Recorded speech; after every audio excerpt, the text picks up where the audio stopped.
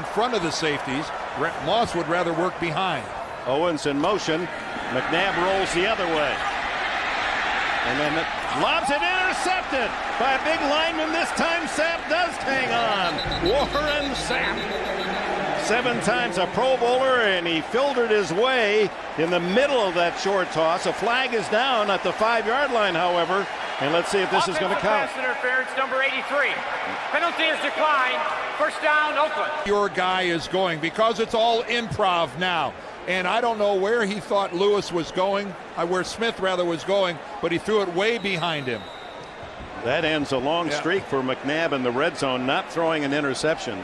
In fact, he uh, was number one among active quarterbacks. Was McNabb, the shotgun with Gordon and Westbrook flanking him. And he's hit from behind by Sapp. Incomplete is the call. And Big Warren loses his helmet in the process as he came in on the blind side of the quarterback McNabb. Well, McNabb had time initially.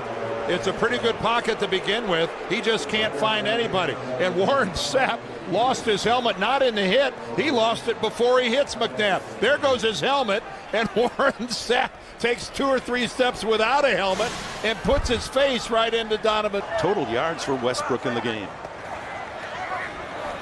McNabb being chased and hit as he throws incomplete. Warren Sapp getting his 300 pounds in gear and almost with a sack of McNabb.